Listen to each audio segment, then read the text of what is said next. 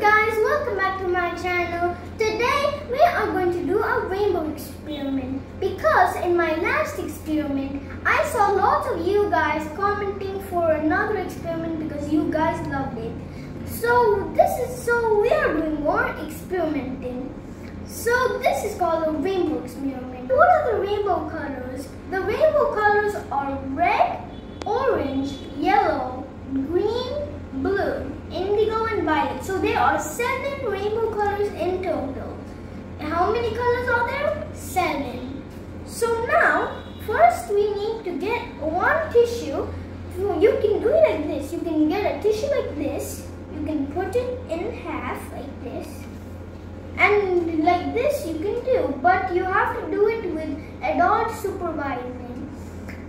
But we don't need this. We're doing it with this we, I'm just showing an example. So now, first we have to do, we have to get all the, the rainbow colors. First, and then we have to make a rectangle and draw it on this tissue. Then we have to color the rectangle in. I'll get back to you when everything is done. I, because I don't want to tear this tissue and I will do it slow and steady because slow wins the race.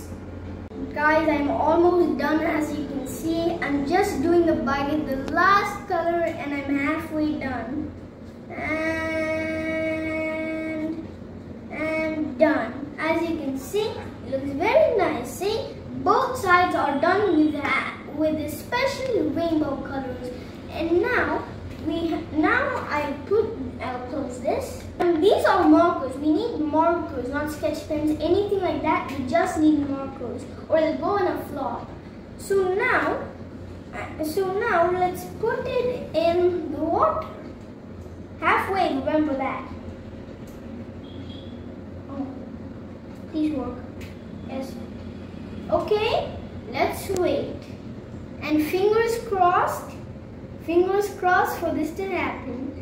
Let's just wait and um, let's just wait for it to um, touch each other.